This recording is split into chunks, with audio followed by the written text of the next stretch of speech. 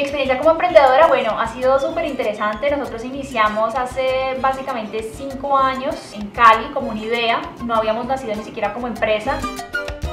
pues debido a este tema de la pandemia nos volvimos completamente virtuales y se convirtió en una oportunidad porque tenemos estudiantes en Alemania, tenemos estudiantes en Bolivia, tenemos eh, profesores en México, profesores en España, eh, estudiantes inclusive también en Taiwán, o sea, ha sido una experiencia maravillosa, hemos aprovechado al máximo este tema que puede ser un, un, un, reto, pero para nosotros ha sido una oportunidad para crecer. Hemos empleado yo creo que a más de 100 personas desde que empezamos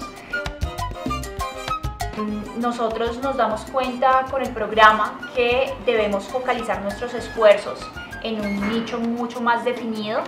y desde que nosotros estamos haciendo eso venimos creciendo de una manera muy sostenida y eh, muy, muy, muy interesante, o sea, un 25% mensual de crecimiento, pues realmente es un crecimiento interesante. Y nos han acompañado mucho en el tema de tecnología,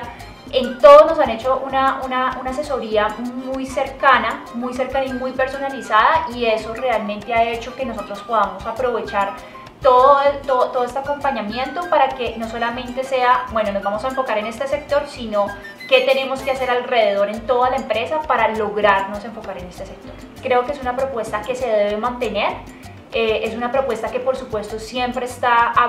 debe estar abierta a mejoramientos y, pues nada, yo como emprendedora puedo decir que estoy súper agradecida que cosas como estas estén, estén pasando en Colombia y espero que se siga manteniendo en el tiempo.